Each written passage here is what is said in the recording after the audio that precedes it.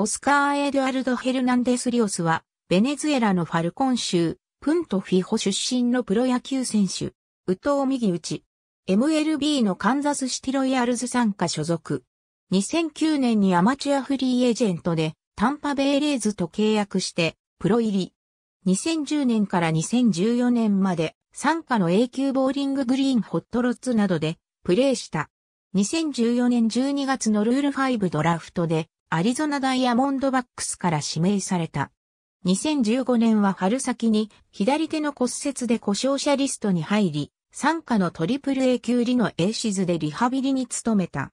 その後、7月4日に40人枠に登録され、同月12日にメジャーデビュー。この年はメジャーで18試合に出場した。2016年はメジャーで4試合の出場に止まった。2017年6月23日に DF となり、40人枠から外れた。残りのシーズンは AA 級ジャクソンジェネラルズでプレーした。オフの11月5日に FA となった。2018年1月8日にボストンレッドソックスとマイナー契約を結んだ。3月23日、薬物違反で50試合の出場停止処分となった。処分が解けた後は、参加のトリプル A 級、ポータケットレッドソックスでプレーし、47試合で打率205、1本塁打、14打点を記録した。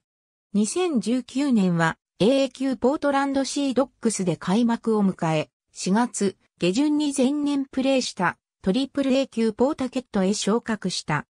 その後、5月17日に父親リストに入ったサンディレオンの代わりに40人枠に登録されたが、1試合も出場することなく3日後に再びトリプル A 級ポータケットに降格した。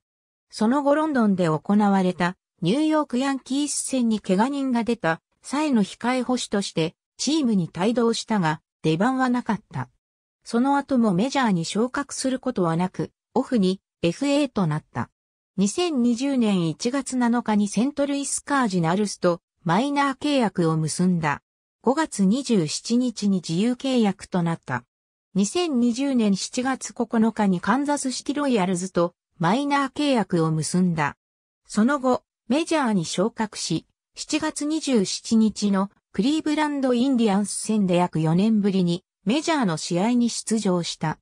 8月2日に DF となり、5日にマイナー契約となった。